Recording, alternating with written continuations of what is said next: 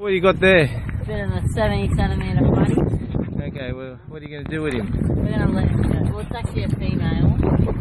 How do you know it's a female? Because when they're over something. Well, I haven't got all day, so let's let him go, eh? Here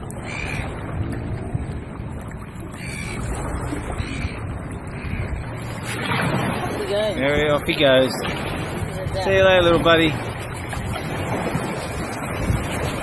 How you feel about that, Phil? Good. Good on you. Catch and release, eh? Yeah.